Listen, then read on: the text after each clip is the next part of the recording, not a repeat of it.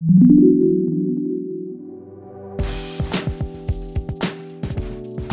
now that you know what HTML elements are and now that you know how to write one, let's look at a massively important aspect of HTML, which is the relationship between elements. The same way you can put text inside your elements, like we did with the p tag, you can also put elements inside other elements. And that's a very important feature of HTML, especially when it comes to designing layouts and that sort of thing. An element hosting another element is called a parent.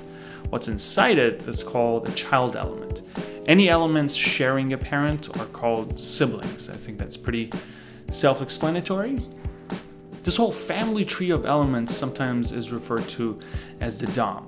The DOM is a powerful place where you can add and remove and, and manipulate HTML elements. There's a lot you can do with the DOM. A lot goes into building uh, a, a structure around your page. In fact, in a real HTML page, you don't just start adding paragraphs and headers and those things. There are a couple of main elements that you need to include first. The main one is HTML, big surprise. This sits at the root of your file, meaning this is the, the first ancestor, the, the parent to all the elements to come. Inside HTML, you have head and body.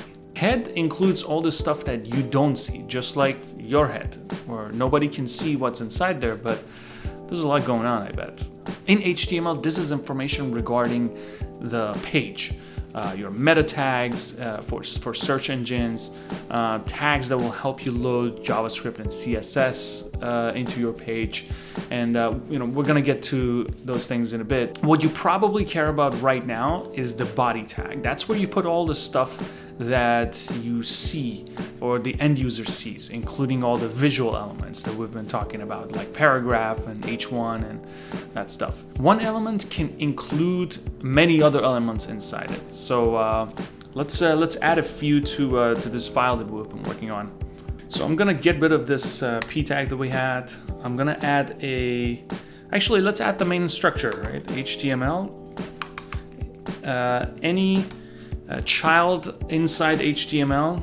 Uh, so we said head and body, right? Body.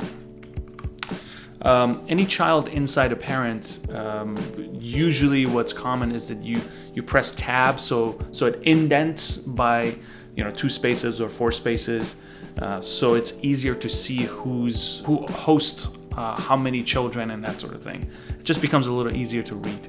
So inside the body, I'm going to add uh, a H1. I'm gonna call this my homies.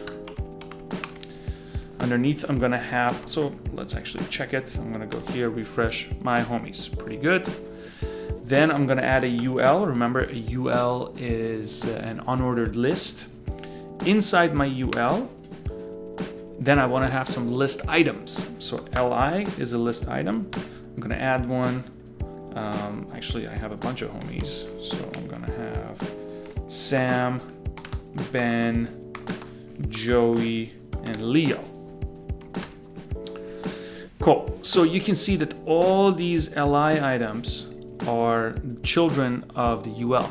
They're also each other's siblings. So let's save this. We'll go up refresh. Look at that.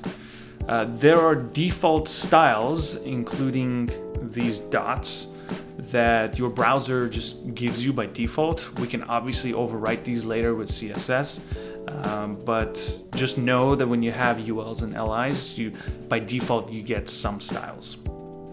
Shout out to my homies, uh, or as my fellow immigrant friends call it, uh, people from the same home, hashtag immigrant life, hashtag lost in translation. so back to our file, you can see the H1 and the UL are also considered siblings because they're both children of the body. This parent-child relationship becomes extremely important when designing complicated pages like the, the GQ page we were looking at. So when designing a page, before you decide what tags you should use, you should really think about the relationship between the elements. And that's because different tags render differently. You saw the UL and the LIs had their own paddings. You can see they're not actually sitting at the uh, right at the left side, like the like the way the the H1 is. So every element renders differently, in, in particular how much space they take and how they relate to their neighboring parent or sibling or child. Next, we're going to talk about another massively important aspect of HTML elements, which is their display type, which dictates how much space they, they actually take. So before we go, I want to show you one more thing. If you go back to your HTML file, uh, and this you can do this on Safari and Chrome, uh, right click on any of these elements and click inspect element, uh, this little thing comes up that's called your DevTools, so Chrome DevTools or Safari DevTools. And this guy actually shows you uh, your rendered HTML uh, really nicely. So you can just hover over these with your mouse and it it uh, lights it up and it shows you where it starts and where it ends. It's a pretty useful tool we're to be using in the next videos, okay? So with that said, um, bye.